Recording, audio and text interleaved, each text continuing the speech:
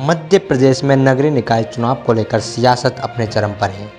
मध्य प्रदेश में होने वाले चुनाव को सेमीफाइनल के तौर पर देखा जा रहा है, जिसके लिए कांग्रेस हो या बीजेपी, दोनों पार्टियाँ में सियासत उठाफटक जमकर देखने को मिल रही है। निकाय चुनाव के बीच राजधानी भोपाल में अजीब गरीब बैनर देखने को मिल रहा है, जिस बैनर में लिखा है कि बाग उमरा अब्दुल्ला का अपमान नहीं सहेंगे। कांग्रेस नेताओं का आना सख्त मना है।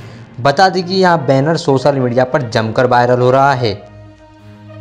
शहर के उमरा अब्दुल्ला इलाके में तो कांग्रेस नेताओं की, कांग्रेस नेताओं की नो एंट्री के बैनर तक लगा दिए गए हैं। जानकारी के मुताबिक सोमवार को यहाँ पर बड़े प्रदर्शन की तैयारी चल रही है।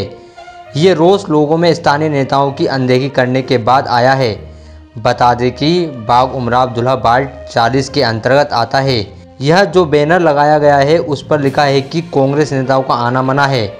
इस बारे में स्थानीय लोगों का कहना है कि इलाके में लगभग 18,000 मतदाता होने के बावजूद पिछले कई चुनाव में कांग्रेस ने इलाके के रहवासी को टिकट नहीं दिया है।